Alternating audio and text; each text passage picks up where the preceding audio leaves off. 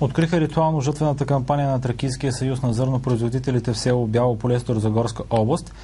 Очакванията са за добра реколта, но за ниски цени, каза Красимир Аврамов, председател на Съюза. По народен обичай, в житните блокове край село Бяло поле бе открита днес жътвената кампания на Тракийския съюз на зърнопроизводителите. Първия житен сноп поженаха депутатите от Комисията по земеделие Стоян Гюзелев и Христина Янчева.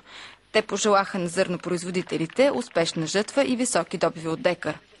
Доходите на земеделците, председателят на Тракийския съюз на зърнопроизводителите Красамир Аврамов описа така. Значи, какво прави земеделеца? Да, виждате тази пукнатина тук.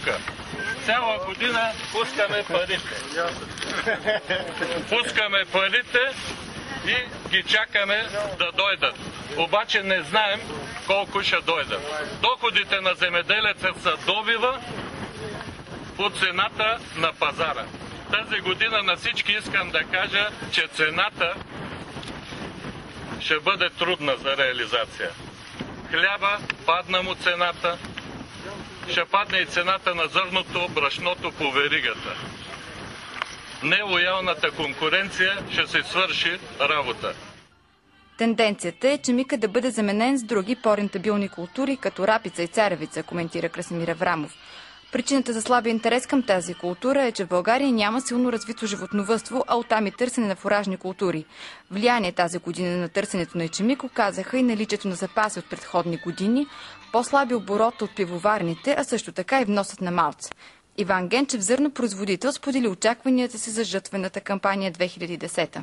Аз мисля, че при нас специално би трябвало да е по-лека кампания, отколкото 2009, защото включваме един много производителен, много голям комбайн, който ще поеме много голяма част от това, което пред, предстои да прибираме.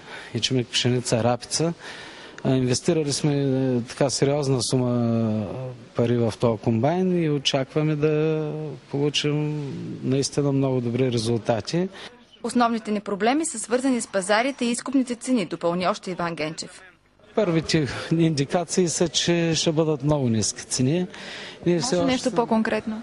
Все още се надяваме наистина това да не е така. Ами, говори се за... Вече така има запитвания за ичемик на 170-180 лева без ДДС, което е прекалено ниска цена. Като причини за ниските изкупни цени, Иван Генчев посочи прекупвачите и големите зърнопроизводители, като Русия и Украина, които се занимават с сериозен износ. След обичая започна същинската жътва с най-новата машина на зърнопроизводителите от Тракия – немския комбайн клас.